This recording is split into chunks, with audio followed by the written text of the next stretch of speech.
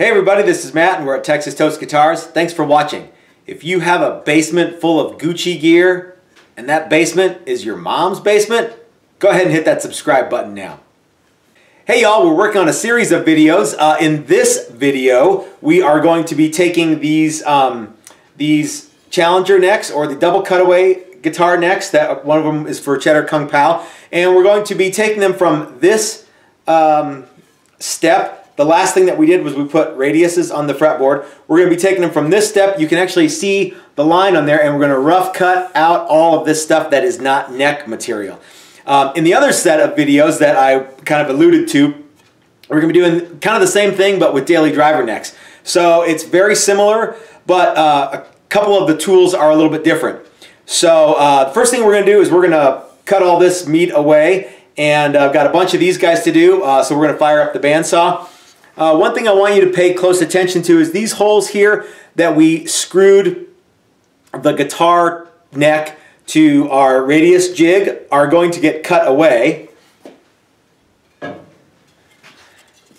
As you can see here, this one has already gotten the treatment and there are no screw holes. You can also dig the inlay on this one. Um, this is the very first Challenger with trapezoid inlays. They're a little different. So I've got um, I've got all my necks are marked with, uh, I've gone like an inch and an eighth from the, uh, from the edge of the binding here to the, the back and then 5 eighths on the headstock. We're really just going to hack away a bunch of material.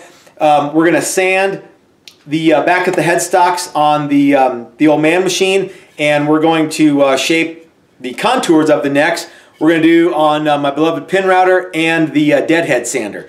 So uh, this might be one of those things where, you know, I don't know how much neck stuff I want to do today, and I kind of want to let these guys rest after I hog a bunch of material off of them. But um, we're just going to go through this step and then through the miracle of TV magic, uh, the next thing you might see may actually be tomorrow or the next day. So enough with the bullshit talk. Let's fire up the bandsaw and let's start making sawdust.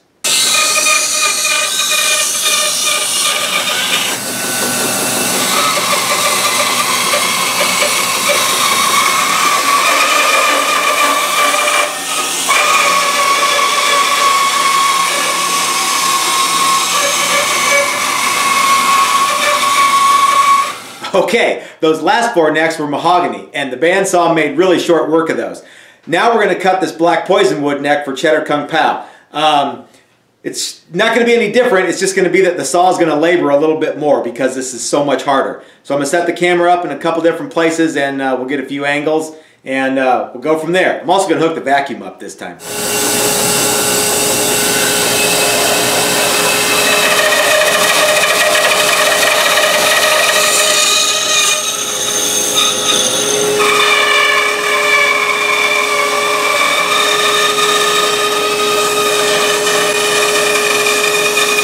All right, this neck is finally starting to feel a little bit more like a guitar neck. It's not so ridiculously heavy now. Um, and check out the uh, the grain pattern on this. This one, this one's going to be a really cool neck. Um, so uh, it probably is going to be worth all of the hassle that we uh, that we put into it. Um, so let's see. Actually, you know what? It wasn't too bad either uh, cutting this out with the bandsaw. This Chechen is really good wood to work with. It saws pretty easily. I mean, it's not mahogany. Um, if you guys have your bandsaw and it's set up to do this, make sure your tension is right. Make sure it's nice and sharp because what can happen is your blade can start to wiggle and wobble like this and you won't get, you know, a nice, a nice even cut. But um, hey, just for fun, let's weigh a couple of these things. Okay, I got two necks here. The one on the top is um, the all mahogany unit for the double cutaway and the one on the bottom is Cheddar Kung Pao's black poison wood neck. Now, these are essentially dimensionally identical or very, very close. You can see we've cut both of these guys and they're pretty damn close. Let's just go ahead and weigh them just for fun. Here's the all mahogany unit. And 24.35 ounces. And here is the Black poison wood neck, 37.4 ounces. You know, it feels a lot heavier than it actually is. Um, it's definitely solid. Okay, the next step in the process is going to be to clean up this back edge of the headstock that's been rough sawn on the bandsaw. as you can see there, I mean, it's, you know, the holes for the tuners haven't gone all the way through yet. It's not to its final dimension. It's quite a bit thick still. It's going to be just over a half of an inch when it's all said and done. So to do that, we're going to run that through the Old Man machine, which is essentially, if you haven't seen the video on the Old Man machine, it's a homemade thickness sander, and the only thing we use it for is headstock thicknessing.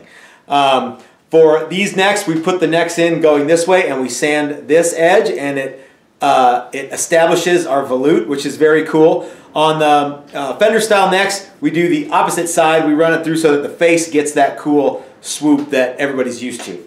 Um, because we already have our fretboard on here, um, what we have is a little jig with some pins in it and the necks fit on there and they run through the machine. Um, easier for me to just do it than it is to describe me doing it. So let's check it out. We're to do all of them at the same time. So we're going to set the, the old man machine height and we're to run them all through. And then we're going to lower the, uh, actually we're going to raise the table, lower the cut and run them all through. So they're all going to be the same when it's all said and done.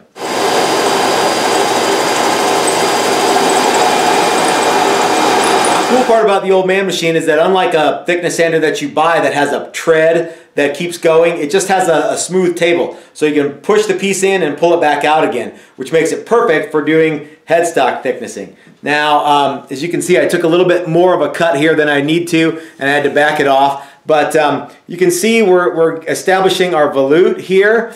And uh, as soon as we get this down to thickness, we want the point of the volute to be right under um, the nut, and because uh, that's the way volutes are. And, um, and when we shape this, see if we get this in the picture, the volute is going to kind of come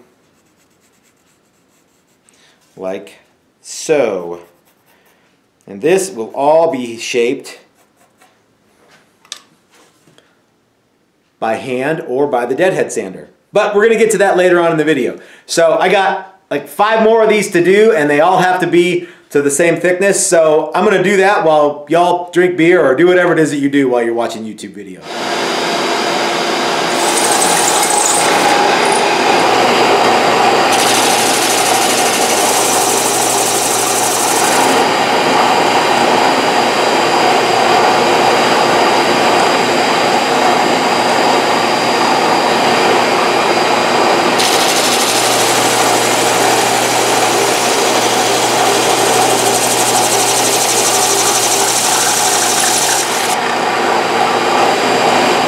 Okay guys, um, like I was saying, this is going to be part of a series of videos about how we take necks from the, uh, the way they were when we first started to um, ready, to, ready to glue into the bodies.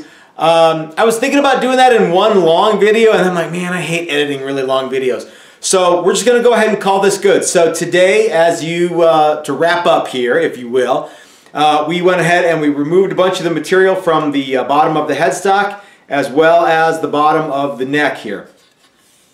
The, um, the headstock is more or less the, the proper thickness and we ran it through the old man machine so it looks really good. Um, the next thing that we're going to do is we're going to chuck this up into our um, jig for the beloved pin router and we're going to establish the contour on the back of the neck. Then uh, we're going to take this over to the, um, the deadhead sander and we're going to uh, really start to make it look like a real live uh, guitar neck. So, if you have any questions about any of the tools that we used today or any of the processes that we used, uh, please go ahead and leave us some questions or comments in the uh, in the section below. I love reading y'all's comments, and I hope that I get to everybody and I answer everybody's questions. Um, you know, if I don't, uh, feel free to send me an email uh, or or send the comment again. I try to get all of them, but uh, sometimes a few of them slip through. So uh, keep leaving comments, guys. I really like it, and you can also do that on our Patreon page. Um, if you like the video, give us a thumbs up. And if you appreciate content like this, speaking of the Patreon page, you might want to go over there and check it out. And, uh, you know, even a buck a month goes a long way to helping us bring videos like this to you guys every month because we do not accept any monies from YouTube. Um, you know what? If you can't do the Patreon thing, we totally get it. Um, but what you could do is you could share this video as many places as you possibly can. Uh, oh, Ian reminded me too that I'm supposed to tell y'all to hit the bell, whatever the hell that is. Um, apparently, every time you click the bell, an angel gets its wings, or something like that. You have to ask Ian. But uh, if you're on YouTube and you're if you're watching this on YouTube, click the bell, whatever the hell that means. So, uh, guys, this is Matt at Texas Toast reminding you that if you're so smart, build it yourself. That's what I do. Thanks for watching, everybody.